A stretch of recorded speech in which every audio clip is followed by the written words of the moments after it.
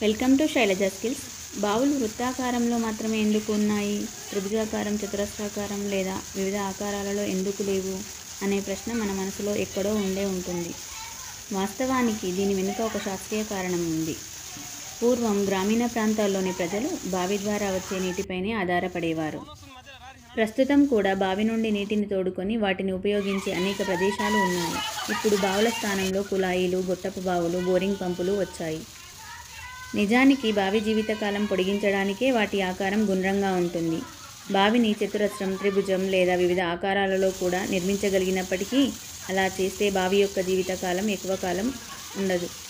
చతురస్రాకారం త్రిభుజాకారం లేదా వివిధ ఆకారాలలో బావిని నిర్మించినప్పుడు ఆ బావిలో నీరు ఎక్కువగా ఉన్న సమయంలో మూలలు ఎక్కువగా ఉండడం వల్ల ఆ మూలలపై నీటి పీడనం అధికంగా పడుతుంది. ఫలితంగా ఆ మూలల్లో పగుళ్ళు ఏర్పడి బావి మూసుకుపోయే ప్రమాదం ఏర్పడుతుంది. అయితే వృత్తాకార బావుల్లో ఇటువంటి సమస్య తలెత్తదు.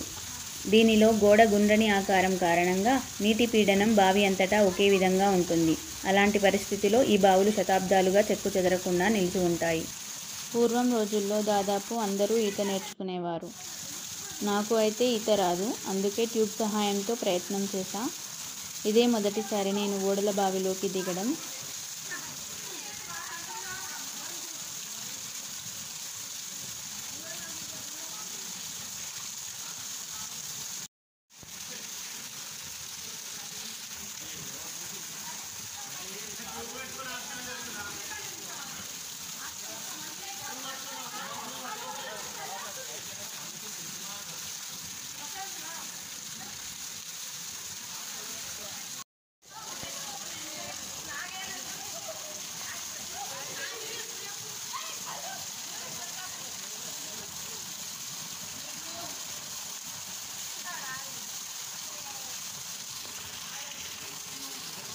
మీకు ఈత వచ్చినట్లయితే నా ఛానల్ని సబ్స్క్రైబ్ చేయండి. రాకపోతే లైక్ చేయండి. Thank you for watching